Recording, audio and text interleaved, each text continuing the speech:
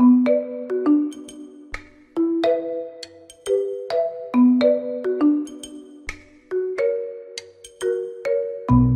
Hanish Patel, and this is User Friendly, the show where we explore emerging trends in tech, media, and telecom, and how they impact business, operations, and the world around you. Today, social platforms have an opportunity to lead and accelerate the creator economy by using technology to meet creators' evolving needs, providing personalized experiences at scale across the creator lifecycle and focusing on opportunities to increase creator monetization and loyalty. But how exactly can social platforms ensure this outcome? In this episode, we'll cover how to attract, retain, and support creators as consumer preferences, monetization opportunities, and social media platforms continue to evolve in an increasingly competitive landscape. Joining me to discuss these topics is Thomas Kim, Director of Product Management and Creator Monetization at YouTube, and Dennis Ortiz, Principal at Monitor Deloitte and US Advertising, Publishing, Social Media, and Platforms Leader. Thanks for having us. Thanks, Anish. Looking forward to this. This is a topic that's been in the fray for a while, so hot with conversations going on. But I want to really set the scene for our listeners to begin with, especially given the sheer proliferation of creators to the point that just about anyone is a creator in today's world.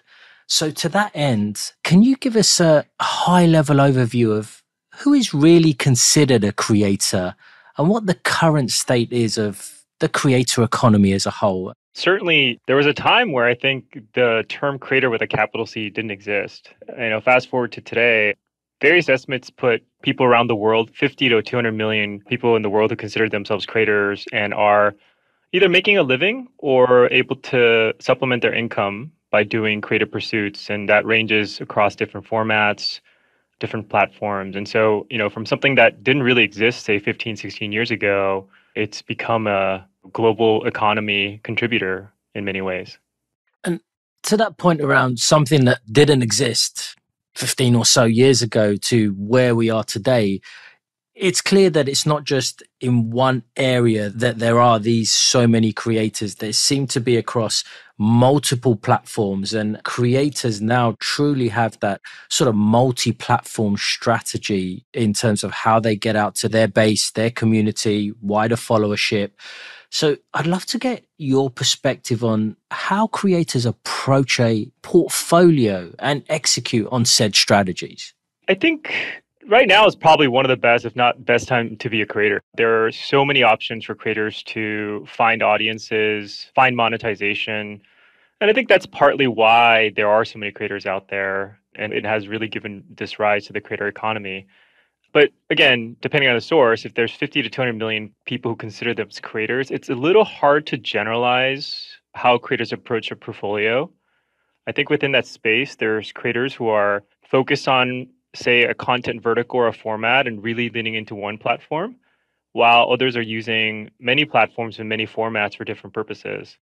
And so here at YouTube, I think what we want to offer is kind of what's created the creator economy in the first place, which is reach, creative freedom, and monetization. And that happens because on YouTube, creators can connect with over 2 billion global users and they could do it in whatever format they want. They could do 10 second videos, a five minute song, 10 minute videos, one hour podcast, or even two hour live streams. And that format diversity is what I think eventually we'll see is creators will lean into a lot of different platforms and formats. And I think that is really the future, if not the present already. So keeping with that train in terms of the opportunities that are there and given just the sheer reach, right? Can you talk a little bit more about what platforms have offered in terms of monetization? Because that's key for a good number of creators. A number of them think of it from a monetization opportunity. So, what have they offered in that realm for creators? What I think I could speak to is what YouTube offers and the YouTube Partner Program, which is the program that I lead at YouTube. And going back about 16 years ago, YouTube made an industry changing decision really to share advertising revenue with users who were uploading videos at the time. And 16 years later, YPP or the YouTube Partner Program really is the backbone of the creator economy.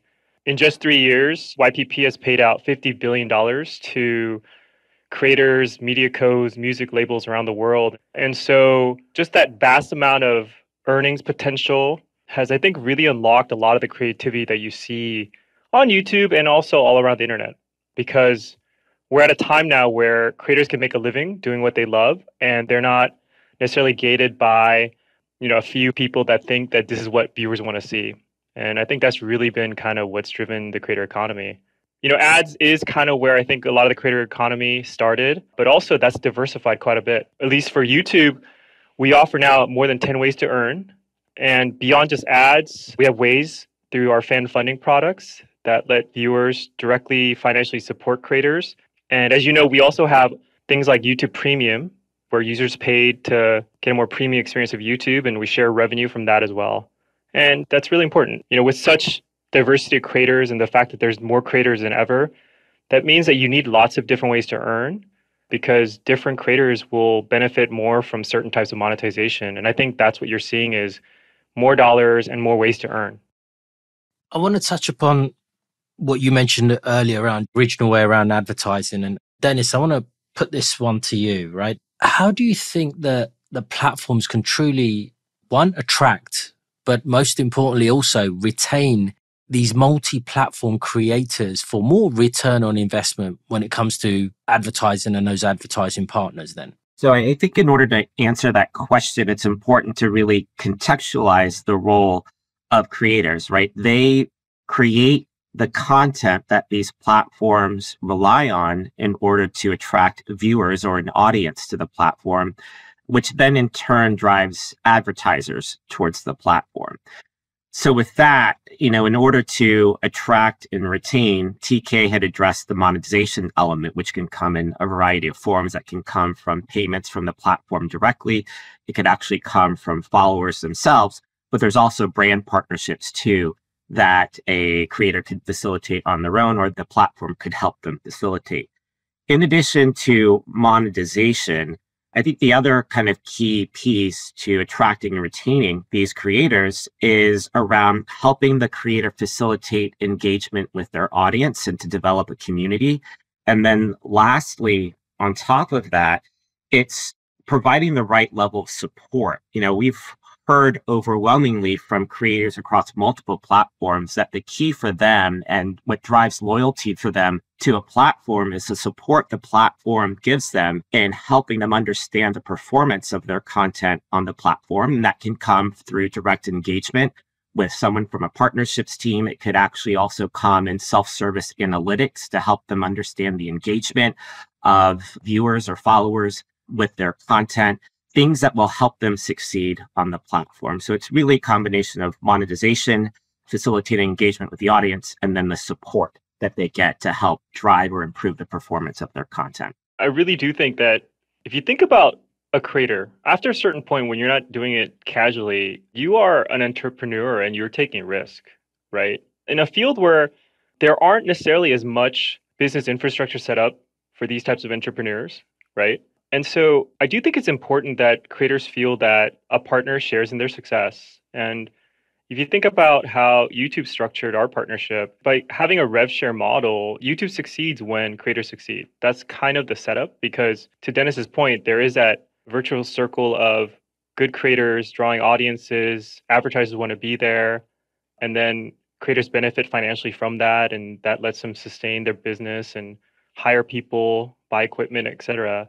And as you folks run businesses, you also know that support is a really important part of running a business. And in some ways, I think we've invested a lot providing a number of different ways with us communications, high touch support. It's because in many ways, these are entrepreneurs that are running businesses and they need support to kind of manage a business. And I think that's at the end of it what platforms need to do to really treat creators like partners and support their businesses. So, going off the back of what the both of you have just said, I want to anchoring on one particular area, YouTube, and within that, shorts, because you've seen such a big proliferation of shorts, and particularly for those mobile first creators. So, what value do YouTube and shorts provide for those mobile first creators? You know, it's funny. It's almost kind of full circle, right? So, when YouTube launched in 2005, the first video was actually an 18 second video. So in some ways, it was actually the first shorts video. And what happened is that as video production costs came down and hosting came down, it allowed longer and longer videos, right? Which became kind of what really drove YouTube's success. And now, with all the progress in mobile technology and creation tools, to me, YouTube Shorts is just the natural progression to empower the next generation of mobile centric creators. And at the end of the day, creators are looking for reach, audience monetization, and we share in the collective success. And so I think the real value prop for shorts is you get the reach of a 2 billion global audience, monetization, and that actually benefits not just the next generation of mobile first creators, but we also have a number of traditional YouTube creators who are using YouTube Shorts as a way to actually gain new audience and also to diversify their content. It is a lighter format for you to experiment with new ideas. It doesn't have quite the time investment of a long form video. So I think in some ways it's beneficial to the overall ecosystem as well. So going from an 18 second clip to where we are today, and Dennis, I know you spend a lot of time in the market, studying the creators, advising in that space. And there clearly seems to be a lot of focus on kind of building communities, building that connection for those creators. I'll be interested to see what trends you're seeing. Again, if we go back from what started from an 18 second clip to where we are today and where you see it going forward, would love to get your perspective on that. So, our latest creator economy survey found that 83% of creators agree that their primary platform has a thriving community that they actually enjoy being a part of. And then close to 90% of the creators agree that their primary platform facilitates ways for them to engage with their audience. And, you know, part of their priorities as creators is really to focus on delivering quality content and an experience. 58% of creators agree with that. And then roughly 43% of creators prefer to engage directly with their followers. So those are some of the trends that we're actually seeing in this space around community building and driving connection with audiences. So, given those stats that we're seeing across the industry as a whole, TK, can you speak to how YouTube has helped those creators foster that community and build that authenticity as they connect with that community, that followership, and really kind of build that personal brand that you see so many of the creators doing? Yeah, I think given the sheer number of creators out there, we shouldn't lose the fact that that is composed of individuals who come from many different and identify with many different communities. And as far as supporting these communities, this is a deeply, deeply personal motivation for me. And I think for many folks, this will resonate with them. But as an Asian American growing up in the 90s, I mean, there was nobody who looked like me in traditional media. So long before I worked at YouTube, I was just a personal fan of YouTube because it was the first time I could see on video stories and narratives of people who look like me, these stories that really resonated with me. And I think this holds true for many of the viewers who found affinity with the communities that they identify on platforms like YouTube. And that's why many of them chose to become creators. What I think we're especially proud of is that YPP has provided the means for many of these creators from all these communities to earn a living doing what they love and sharing their voice with the world. And I think it's very important that platforms like YouTube reflect the full diversity of global society. I personally actually work on a lot of projects to ensure that our systems are fair. I personally also serve as the executive sponsor of our many Asian American Pacific Islander creator advocacy programs and you know i have colleagues who are doing that for many other communities and it's really important because you know what's lost in the numbers is the fact that this is actually made up of many communities and it's important that they all have a voice I love that. Such an important aspect, like you said, of community, but then representation of, right? That's something that's so important and to the core to many of us for 100%. So, sticking with that train of what you talked about in terms of just in this case what YouTube are providing some of those creators and Dennis as you talked about in some of those stats that you're seeing about how they're using that primary platform to engage with their audience. A question to the both of you in terms of what can as well as what they currently do, but what other things come to mind as what platforms can really be providing creators eh, along with the monetization, along with the algorithms to really allow those creators to trust a platform and a brand for where they want to put their content out, how they want to engage with their community. What are some of the things that they can be doing? And maybe as a part two of a question, how can the platforms also support the creators from different communities, identities to really improve equity and amplify voices, which is such an important aspect of what we're seeing over the last couple of years as well? Based on some of our conversations with creators across a variety of platforms, I think the number one theme on this specific topic has actually been around transparency. And transparency actually comes in multiple forms. So when we talk to creators, they talk about transparencies around policies, around content, and understanding why content may be taken down from a specific platform, but also transparency around content performance. And this goes back to kind of what TK had discussed around support and even around analytics. They want to better understand how their content is performing. And I think you'll find some variation in the level of insight that creators actually get from these platforms on how their content is performing. So transparency is key. I agree. Thematically, creators are looking for platforms to be their partners. And the way we think about it is we succeed when our creators succeed.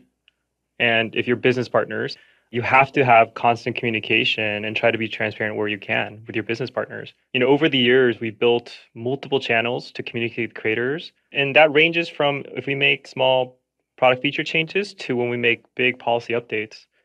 And that's communicated via our team of partner managers who have one on one conversations with our creators. We do notifications in the product, email, social posts, blog posts. We have an entire video program we run called Creator Insider.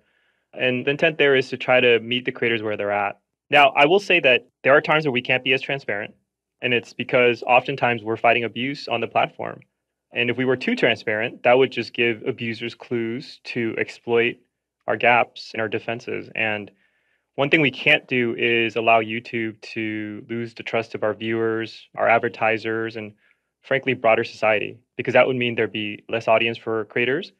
There'd be less monetization available for all of the good, responsible creators we have. And so I spent a lot of time trying to strike that balance within even the YouTube Partner Program. We have to make decisions on who we let monetize and who we don't. And I think we don't always get it right, but I think we do a lot of the time.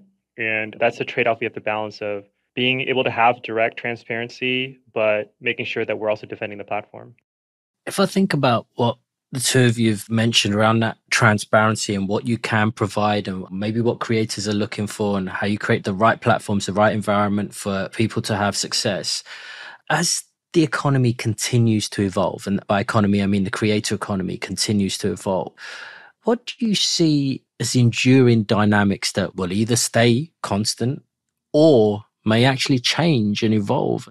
So there are two key things that come to mind for me. One is that the creator economy will be dominated by a small set of platforms, YouTube certainly within that set. I think the mass following that these platforms have attracted over time just makes it very difficult for new entrants into this space. You know, a good example of that might actually be with Twitter and Bluesky kind of coming into the picture. None of those other competitors to that really kind of took off. And then with threads coming into the picture, the number of immediate users that amassed onto that platform just given the carryover from Instagram users. So I think that's number one. Number two, and this is a statement that I'll make that I think we don't talk enough about, is that the creator economy does pose a viable threat to traditional media. And what I mean by that is if you look at the content and where eyeballs are actually going and where people are actually spending time, a lot of that now is being disintermediated and people aren't going to the theaters as much. They're not spending as much time streaming on traditional platforms or movie platforms. They're actually going to platforms like YouTube and watching short form content and spending time there. The other thing I'll add on top of that is if you look how search habits have actually changed. What these platforms are being used for right now is actually as search because the content that's being produced is much more robust. And if you put that into perspective, I think creators will continue to be elevated in their role in our day to day online content consumption will continue to evolve as a result of their role. Yeah, I completely agree that the eyeballs are certainly shifting. And I think that's been a testament to YouTube's growth. That all being said, I think there's place for both, at least here at YouTube. Many of the traditional media companies have been great content partners for us. I think you all know about the partnership that we've had with NFL. And it's a way for them to engage a new audience as well as a way for us to kind of expand our reach as well. So I think there's room for both. That all being said, in some ways, I think what may be different is that we've had enough generations of creators now that this kind of latest generation of creators, I do feel like are just much more business savvy and really see themselves as a business and brands. The other thing I think I'm seeing, which I think is interesting, is that given the amount, there are a number of, I think, creator oriented services that are propping up. There are hundreds of startups in this space. I think there will be some rationalization there, obviously. But given the amount of dollars out there, I do think there will be a number of services providers for creators and it'll probably allow them to actually own more of their content and their audience. I think that's definitely a trend because, again, creators are much more savvy, they're businesses, and I think they'll need a lot of business infrastructure for them to own their audience and their monetization as well in the future. As we close, something I'd like to cover that is on many minds of recent, and you're probably both thinking, oh, wow, I was about to go through a meeting or a call without someone mentioning this term but I'm going to go mention it right now, and that's generative AI. How do you see generative AI starting to impact the creator economy in the near term? And what's the potential for the opportunities or even the risks that you expect generative AI to bring in the longer term? Sure. So this is where social platforms actually have an opportunity to lead and accelerate the creator economy by leveraging technologies such as Gen AI. In our latest creator economy survey, we found that 62% of creators actually anticipate that they'll be using Gen AI to shape their business. And the number one expected use case was actually as a creative assistant and leveraging Gen AI to generate content ideas. The number two and number three expected uses of AI really revolved around the workflow, production, and writing captions. So imagine being able to leverage Gen AI to create drafts, to edit content and videos, etc. So that's somewhat of a forecast into how Gen AI will impact creators and the creator economy. But, but that being said, there are some potential risks associated with that. You know, one risk certainly is around fact checking and the content that is generated by Gen AI and depending on the kind of content that you're actually creating is what you're getting from the results actually correct.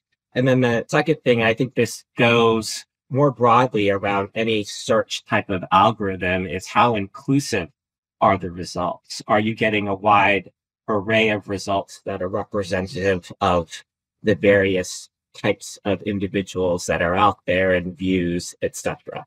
Yeah, I think we're all very excited about what AI could do to unlock new forms of creativity. And I do think it'll expand even further who can be a creator. Many of us, I think, are beginning to use some of these Gen AI tools to make our work easier and increase our productivity. And I don't think that's any different. You know, there's a lot of things that creators have to do that isn't necessarily creation itself. Dennis mentioned a lot of those workflows that they do.